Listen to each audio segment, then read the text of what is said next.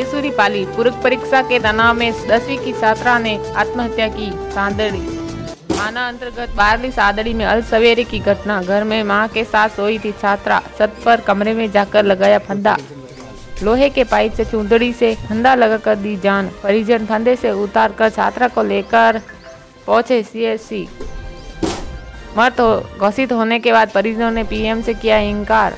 CSC पहुँचे head constable Mangal Singh, constable Santram व संजय मामा